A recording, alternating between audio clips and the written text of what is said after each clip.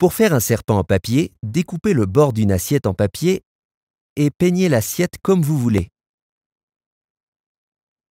Ensuite, dessinez une spirale de 2 cm à l'arrière et découpez-la en allant de l'extérieur vers l'intérieur. Ensuite, peignez les yeux sur le devant de la tête ou collez des yeux mobiles. Enfin, découpez un rectangle de 3 à 5 cm de longueur dans du papier rouge et coupez un V à une extrémité pour faire une langue fourchue. Soulevez la tête et collez la langue en dessous.